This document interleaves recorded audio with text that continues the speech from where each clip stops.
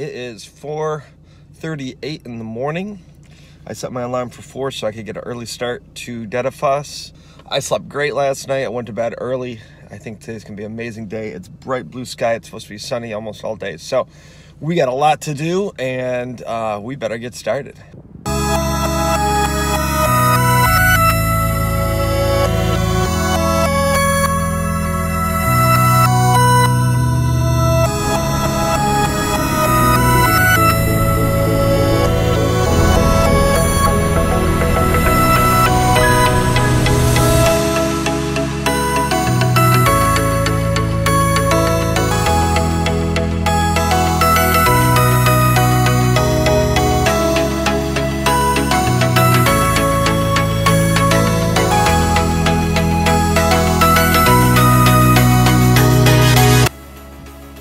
This is Viti Crater. It was formed in 1724 during the Krafla eruption, um, and it erupted for five years.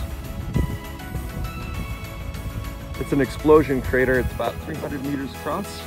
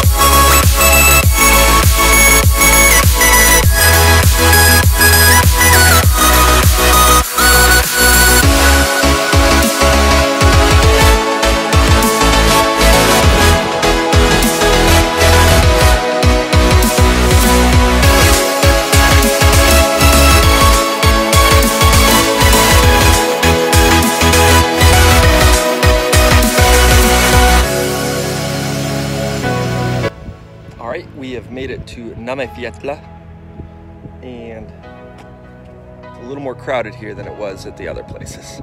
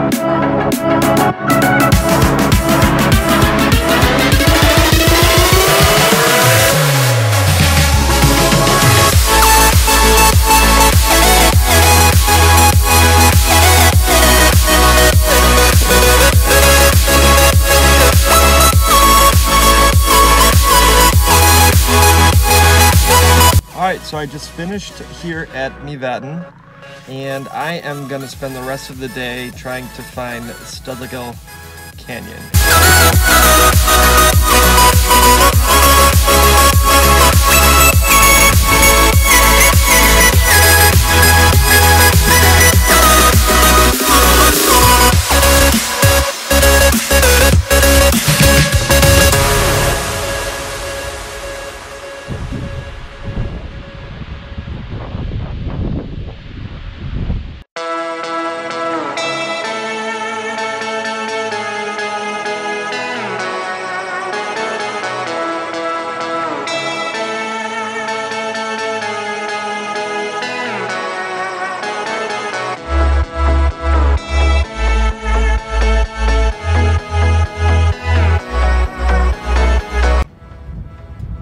So we're up on this mountain pass, 2,000 feet up so far, and we are heading to Seyðisfjörður. and this is the mountain that you must go through. It's Route 93, which is uh, one of the most dangerous roads in Iceland. So, um, fortunately, there's no snow on the mountain, so it's actually not too bad.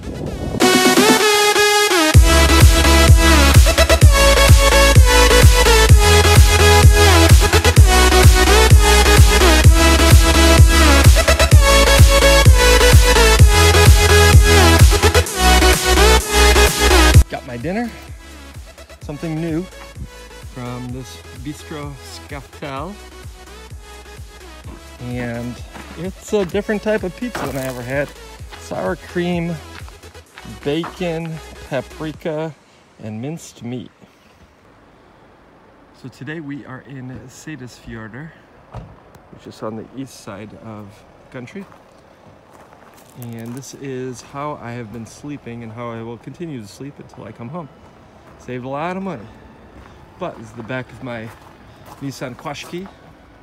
And I got my pillow sleeping bag.